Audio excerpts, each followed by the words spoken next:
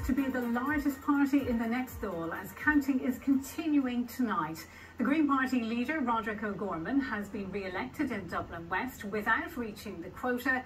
He's the only outgoing party TD who has retained a Dáil seat. Well, let's look at the latest figures that we have to hand so far. And as we can see, 122 of the 174 seats have so far been filled.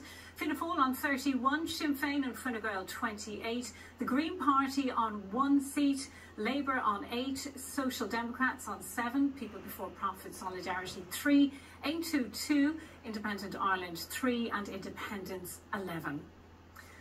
Now, looking at the percentage share of the vote, Fianna Fáil 21.9%, Sinn Féin 19%, Fine Gael 20.8%, the Green Party 3%, Labour 4.7%, and Independence 13.2%.